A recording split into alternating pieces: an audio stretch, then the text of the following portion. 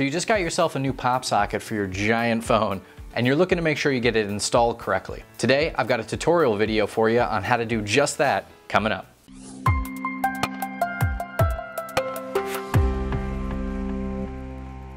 Hey everyone, this is Jeff from Everyday Tech Vids, where we take the mystery out of your favorite cell phones, gadgets, gizmos, tablets, all the cool stuff you got running around, and we'll give you straightforward answers to straightforward questions. If you are new here and you'd like to see more videos like this, please do consider subscribing. Also, at any time during the video, if I go over something specific, I'll include it in the show notes in the description below, or if any links are mentioned, things like that, it'll all be in the show notes for you.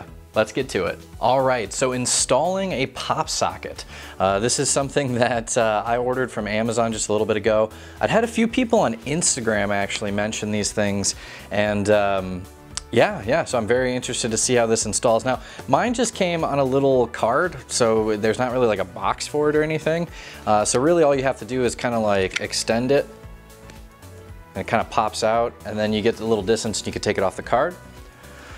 So I've got it off the card and I can see that on the bottom uh, there is a sort of type of adhesive. And by the way too, I am doing this in real time, so I have not tried installing this yet, so we are gonna learn together. Yeah, there's definitely a nice adhesive on the bottom. So the first thing I would do is peel that off, peel the plastic off so that you expose the adhesive on the underside. Now again, I have an iPhone 6s Plus, so this is a very big phone. So, according to the instructions, all you do is just take the adhesive side and stick it directly where you want it. So I will stick it on the back of my phone, push it down, then pull it back out. Push it down, give it a little pressure, just a little bit. Don't push too hard because you don't want to like, you know, bend your phone or something crazy. Get the iPhone bends. Um, yeah, so I mean, that's on there. That's really all it was, was just to ad adhere it to the back. Now, doesn't seem to be moving at all. I'm gonna try to see if I can hold it. Oh, that's cool. That is really, really cool. This, this really frees up, like immediately I can tell that this is gonna free up my thumb so that I can go anywhere on, on the phone itself. So I don't have to kind of stretch or adjust it weird. You can still get a good firm grip on it. Um, and move your thumb around. This is really, really nice.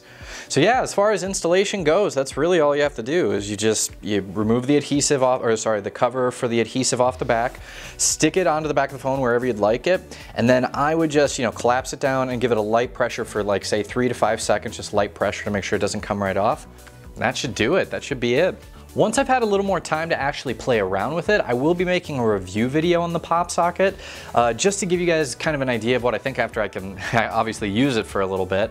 Uh, it'll take a little time to see, you know, repositioning it, make sure it actually functions the right way, and that it's going to uh, kind of last too, because that's the only other thing. It feels decently strong, but I just, I don't know. I don't know how long this thing will last on here, so I will keep you guys posted. I do have a question for you guys. If you have tried out the pop socket, please list below, I mean, how long has it lasted for you? Is it staying pretty durable? Uh, I'm really gonna give it probably a solid week at least of trying it out to see if I can get you know, some sort of a, you know, feeling for how long it'll last. But if you've had one for a while, please do leave a comment below uh, with what you think. Please stay tuned for the uh, full review video. I will include a link in the description box once I do have that up. Uh, that's probably gonna be in another week or so. Um, or if you want more videos like this, please do consider subscribing.